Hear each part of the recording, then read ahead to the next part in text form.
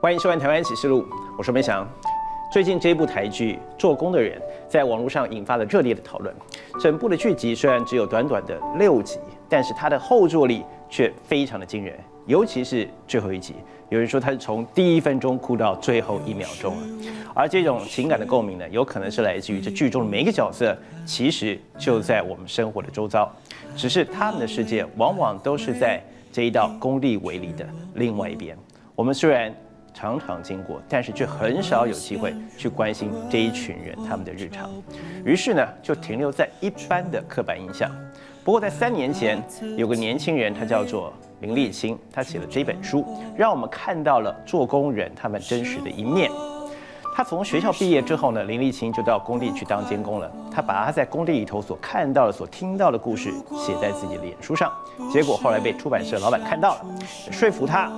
这件事情值得去做，让更多人了解做工人他们的生活。他们就把这些短文集结成册，出了一本书。没想到这本《做工的人》出版之后，引起了热烈的回响。后来还甚至被改编拍成了这部电视剧。而电视剧的导演郑芬芬说，他当初也是看了这本书之后，深深的被这些人物的情感给吸引了。他希望把这些感动拍出来，给大家看到。而他在这一本书当中的二十七个故事当中，特地挑选了这一对铁工兄弟当做是整个故事的主轴。而在拍摄前呢，整个剧组做了大量的田野调查，他们认识了形形色色的工人朋友。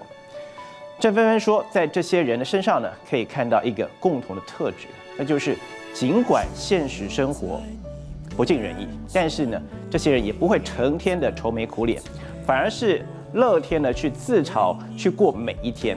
刚开始有人看到李明顺饰演阿迪的这个角色，可能不会很喜欢，甚至有人讨厌他，因为阿迪这个人老是想要占人便宜，异想天开的想要一夕致富。但是看到了最后面，你才会发现，原来前面这五集的堆叠，都是为了最后这一集的酝酿。这部《做工人》可以说是开创了台剧的一个新的格局。他们甚至把整个剧组搬进了一座真的大型工地去拍摄，然后里头的每一个演员，他们的演技丝丝入扣。比方像是薛仕凌阿转，你都不会怀疑他就是那个走路永远脚开开的怪手司机阿转。据说薛仕凌为了让自己更入戏，他吃槟榔吃到整个口腔黏膜都溃烂了。网络上面很多人在讨论这部剧，说。这一出做工的人，应该已经预约了明年金钟奖的大热门了。而至于原著的作者林立清，他又是怎么看的呢？他说，当年他在写这些故事的时候，其实他是刻意回避掉了这些劳动者他们的梦想，因为在林立清听来，在工地里头大家闲聊的这些梦想，其实都是无法实现、不切实际的，所以他也就没有把它写进书里头。但是没有想到，导演不但没有回避，甚至把这些白日梦变成了这一出电视剧的主轴。因为导演想要告诉大家一件事情：劳动者其实和大家一样，都会有梦想，大家都想要赚大钱，都想要过更好的生活。而这一点，就是让林立清感到最惊喜的一个发现。林立清说：“做钢阿郎是没有生病的权利了，因为。”你去看医生，就表示这一天你不能工作，你没有工作就没有收入，就没有钱赚。所以不管有什么样的疑难杂症，每一个工人他们的包包，你把它打开，里头都可以看到属于他们自己的一套仙丹妙药。好，不管风吹日晒雨淋，做港澳人都要硬着头皮上，他们的体力付出极大，而在下班之后，他们也自有一套休养放松的方法。而林立清呢，他就跟着这些大哥出去见过世面。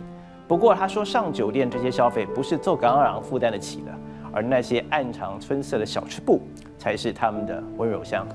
但是林立清却在那里看见了生命的挣扎与无奈。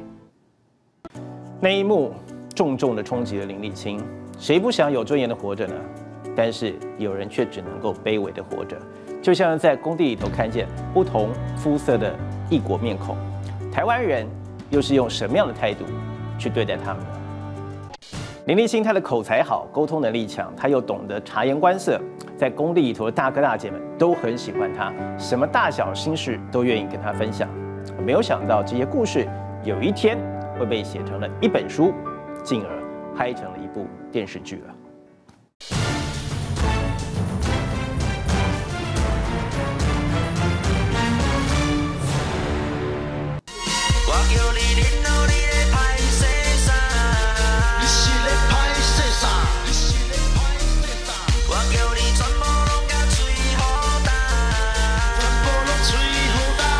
那个是在工地喝酒的时候的醋鼻调味，你就把它想槟榔摊有卖的饮料都拿来乱乱加一通那种感觉。就是工地特有的调酒就对了。呃，对，因为你就在工地，就是槟榔摊买得到。现在有二十四小时啊，有时候有二十四小时，二十四小时的便利商店不见得有酒，对嘛？那他们就会买保利达加一些阿萨布鲁的，然后来喝一喝。他们的文化里面就是我们，我我今天来了，我和我和你认识，来大哥来喝一罐，来一人喝一杯，然后我们来聊一下，说你接下来你要做泥做，我要做油漆，那是不是怎么样？好像。边喝边抽几支烟，大家就可以把话聊开。就骂鸡了。这是一种好像我们证明我们是他朋友的方法。我没有恶意，我来跟你讨论事情。兄弟也高。啊，对，就算第一次认识也会这样子。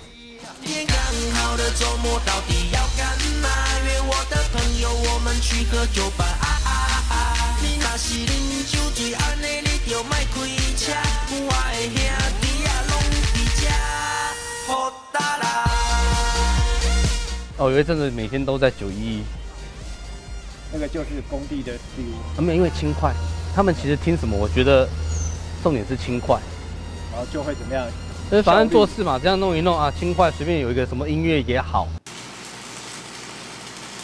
焊接它是高温，那它那个东西很亮，那瞬间你用眼睛去看，用眼，你就算用眼罩好了，你要这样子，他们久了就是这样子。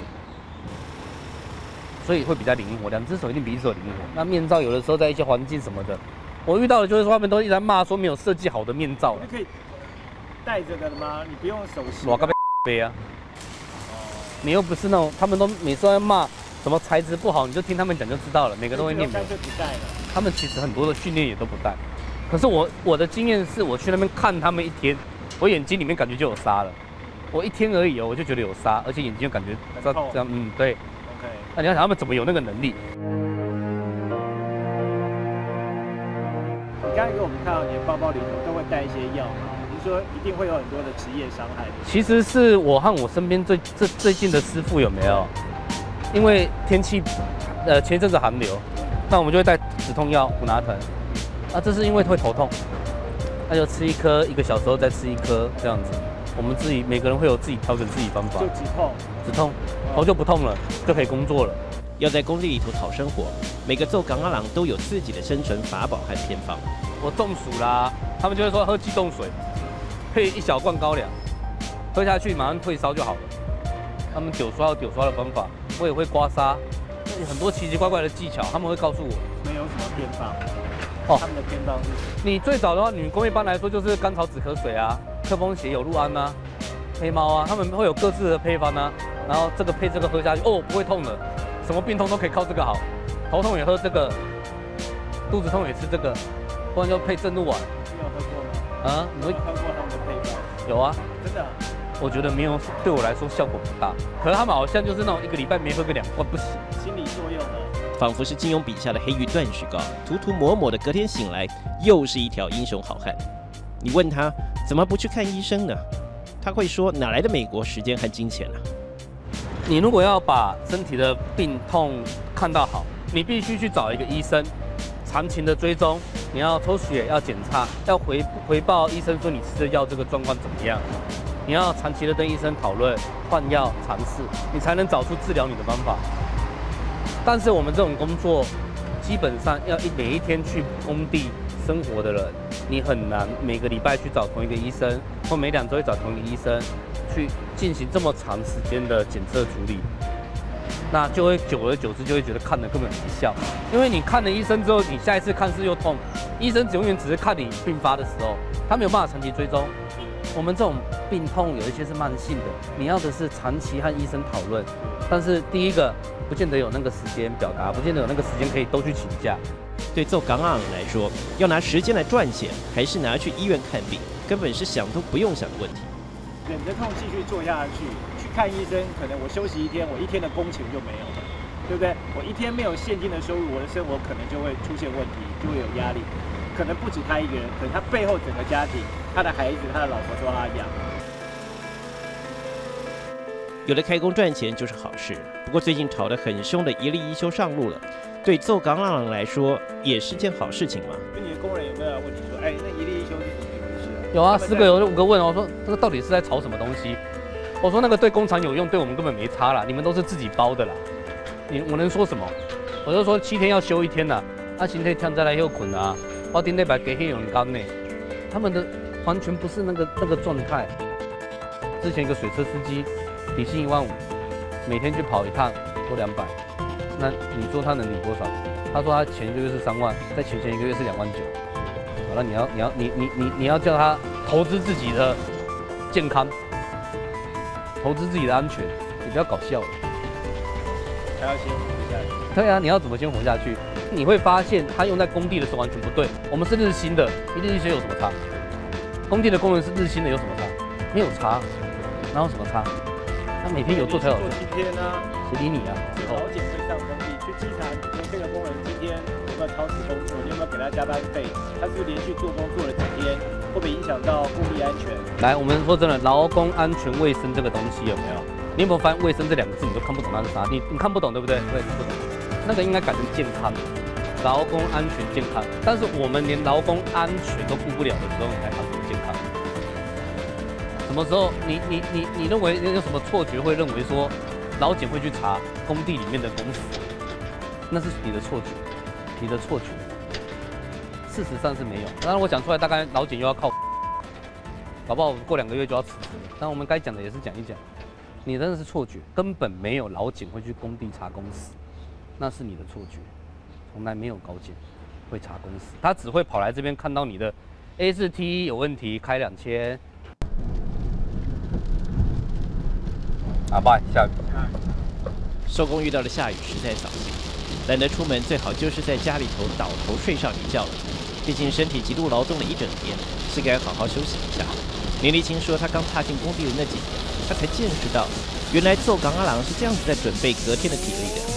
我可能比较，呃，人缘比较好一点，他们就会带我来哦，小吃啊，好料的。像万华，我们我也知道万华那边有什么好料的，大家一起去吃饭，然后去到家常，他蛮好玩的哦，每个都很会钓，都说自己很会钓。一个小时钓不到，你就要去外面捞一圈，回来就有虾吃啦。就你带吹嘛，哦不要看人。出去玩就把你当小老弟一样。对你当出去，他们就是大哥，反正谁带我出去，大部分我也不用花钱，就陪他们玩。他们有人喜欢上三温暖，不是简单的泡泡热水澡而已。李立新第一次尝试到被陌生的男人洗背擦背，虽然有点害臊，但凭良心讲，洗完之后果然是通体舒畅。有一些就会去按摩啦，有一些会去三温暖啦，什么擦背，我后来才知道那叫全身去角质。那你也有去跟他们擦背？哦，对，有一个那个那个土方的有没有？那个是真的大哥有没有？就是来来来，给给给，然后就去全去那边擦背。哦，原来我身上这么脏，还有舒服，说真的很舒服，然后洗完澡整个人都软掉了，超好睡。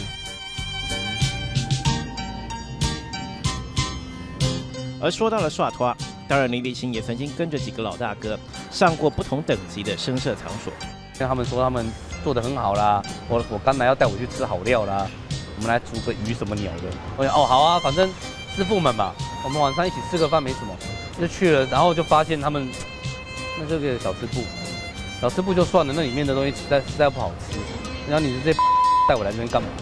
可是后来他们开始陪酒，有那些阿纪，他们是四五十岁了，我不知道他们的来历，我不知道他们怎么会出现，就是他们会在这边陪，他们没有台前。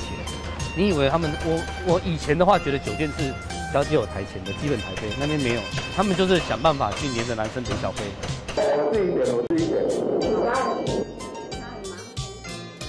暗藏春色的小吃部是公开的秘密了，但是接下来这一幕让林立清感触良多。那两个小姐，一个是没有手指的，一个是身体有大概半面积灼伤的。你那时候看到有没有很震撼？我有一种无力感，就是感觉好像心里被挖掉一块那种无力感。其实那两个工人也是凄惨的，他们是没有专业中年失业的工人来工地打工，那他们能做什么？他们在里面就是技术不比人家好，也没有实际掌控工地的能力。他到了工地，就是我跟他说那边的垃圾全部清完，他们就会清垃圾，或者说那把那边的东西搬到楼下去，全部用米袋装好，他们就是做这些事。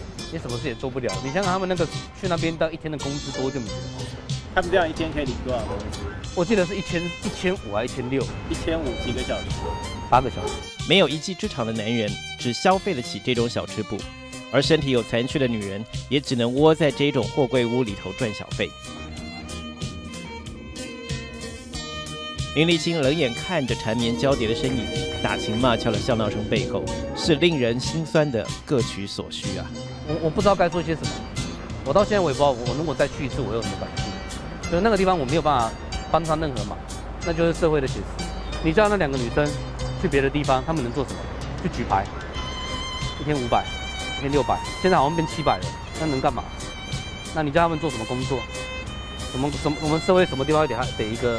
少了四只手手指的女人工作，无能为力的林立清只想尽快的脱离那个情境。当他一脚踏出了小吃部，迎面走来的是管区远景，难道是要来临检的吗？看到我什么事也没有，登记一下行李如仪走了。他也知道里面在干嘛，那你能怎么办？你我在我那个时候感觉到，我从这个两个警察身上看到一种感觉，他们知道里面在干嘛。这是一个陪酒的地方，这是个小姐会提供半套性服务的地方，但是。你把他抓了能干嘛？你是警察，你愿意抓吗？我不愿意。那个警察的选择是把我的资料抄一抄，然后就哦走了，什么事也没有。我在里面吃了一只很难吃的。那个警察也许和林立清有着相同的无奈和感慨，放下伪善的道德标准吧，因为在那个货柜屋里头，有人只是想要单纯的活下去。这两个工人后来回到工地之后。被其他人知道说，你们到那家小吃部去消费，大家也知道那家小吃部那两个人女人是什么样的遭遇，所以对他们来讲就会觉得你好像欺负人。对，但是实际上我觉得不是。他们怎么讲？他们怎么去批评他们？他这种的你也这种你也碰得下去？可是讲这个话的师傅，他的感觉是什么？他的感觉是应该要有其他的更好方法吗？我我遇到我我认识这些师傅，他们觉得你不要去消费他们，他们很可怜。但是你如果连你消费都没有，他们能怎么办？对不对？我们遇到就好像现在你你看到这些私餐一样，好，不让他们做私餐，你要他们做什么？他们不是更惨？那些批评的师傅其实就像这个社会的眼光一样，是你要让人家有尊严的活着，你要让人家有尊严，他们只能够被只能这样子活着啊！我能尊严，他们就不能够活着。对，这两个师傅也一样啊。这两个师傅我记得都是身边没有老婆。你要他们现在这个年龄，什么技能都没有，一天一个月拿两万块，一天拿一千多块在工地捡垃圾，你要他去娶妻娶妻生子，找一个女人，我觉得不可能。他不像你，不像我，不像我们这边的，我们有正当的工作，我们的身体好，我们有希望。我不知道他们我能给他们什么，我什么都做不了，我什么都做不了。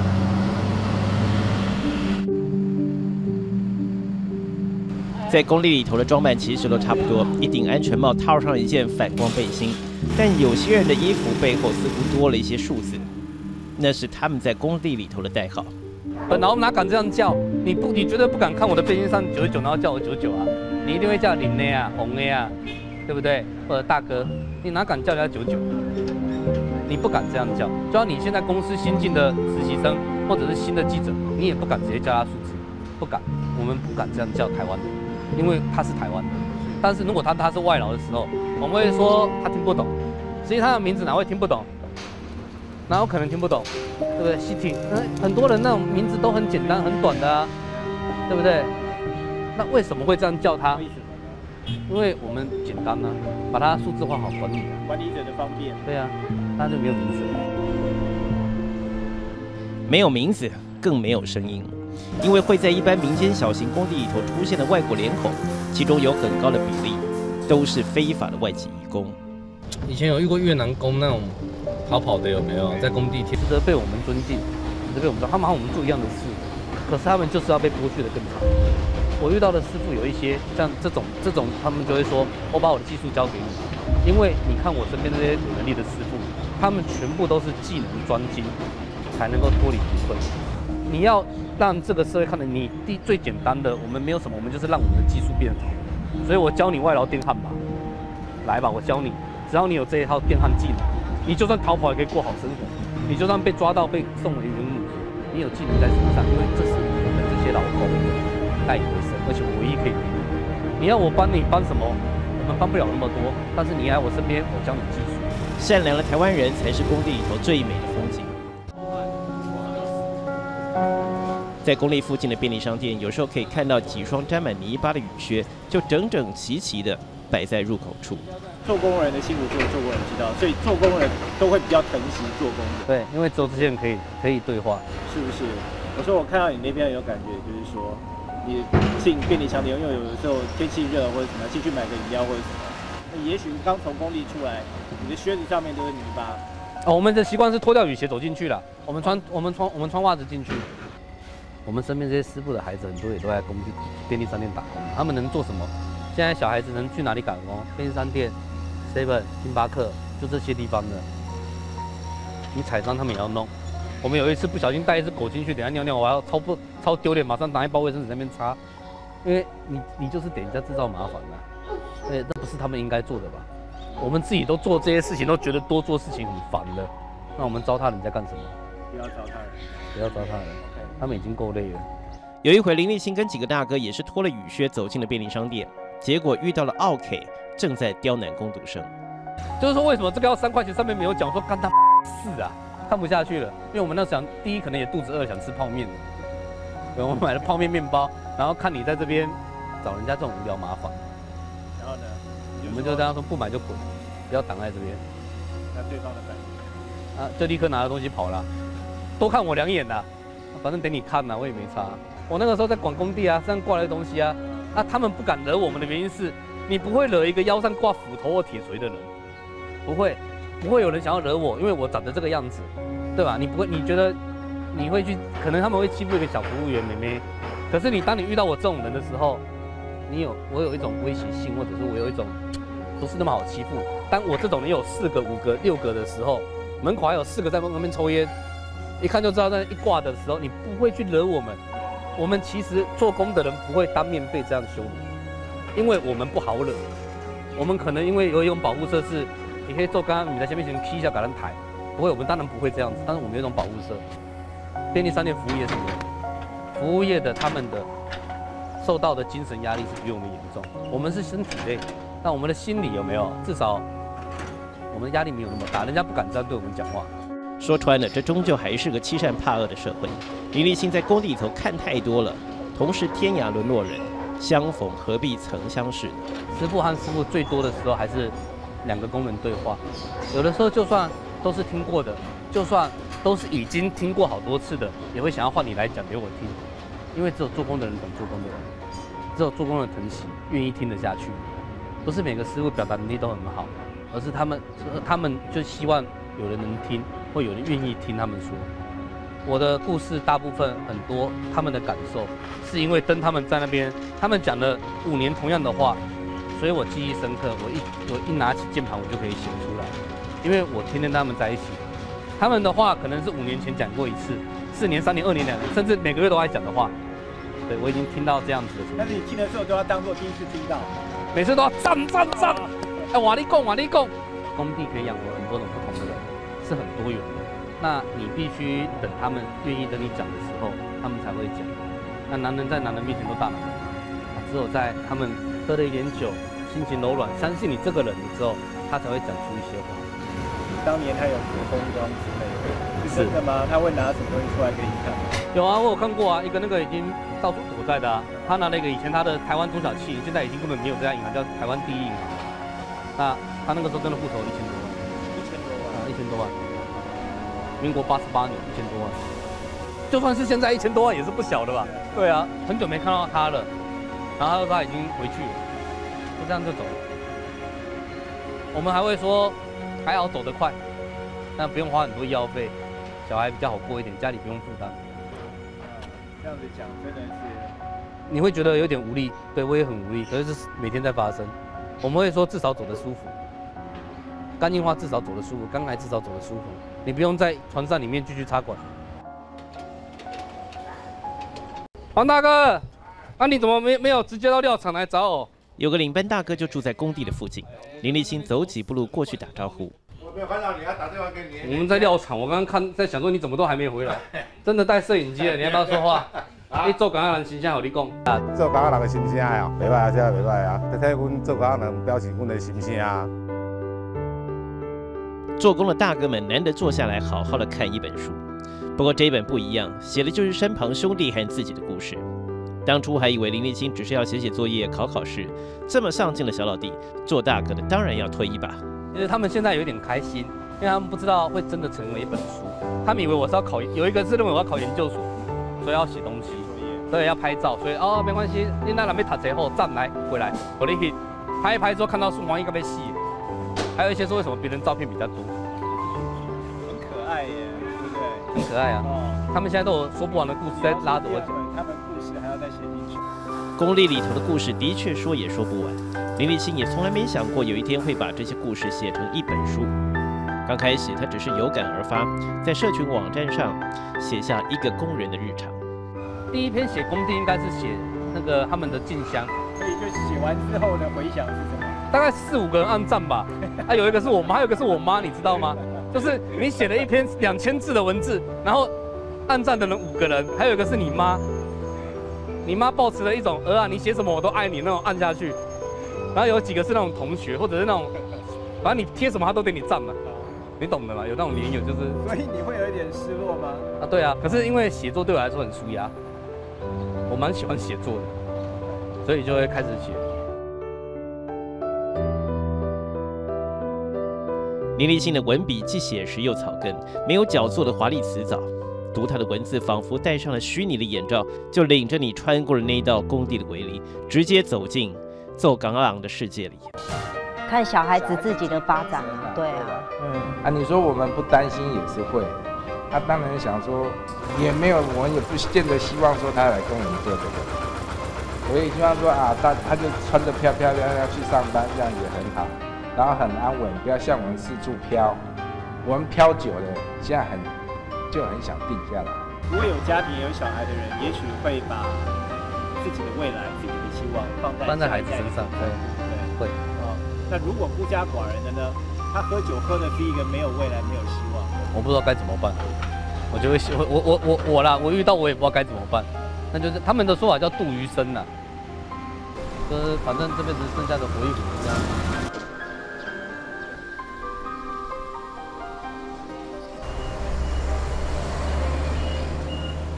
好，更多的节目内容，您可以上网 YouTube 搜寻订阅《台湾启示录》，同时感谢您今天的收看，我是梅翔，我们再会了。